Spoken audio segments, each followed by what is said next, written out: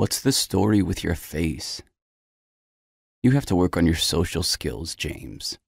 What's the story with my face? It's filled with sharks and trolls and snot and fire. And now my neck and my knees and my elbows hurt. But at least I don't have a trach, right? I can't really complain about the story my face is telling. It's just a cold.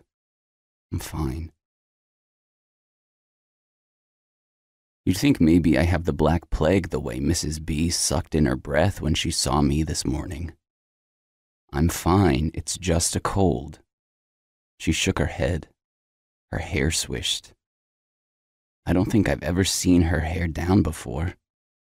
You almost look like a movie star, Mrs. B. Except with more lines around your eyes. No offense. She handed me a card. People's Clinic. Go get checked out, Timothy. Your mom can even take you after work. This place is open nice and late. I shrugged.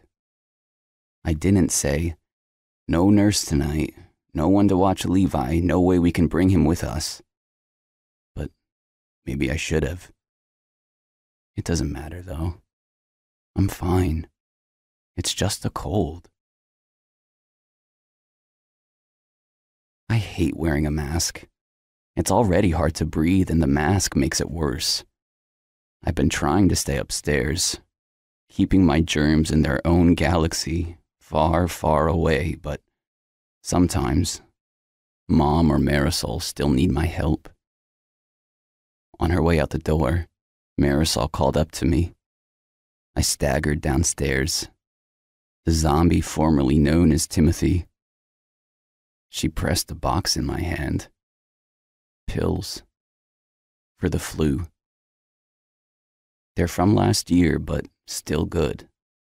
Take them, Timothy. Get better, sport.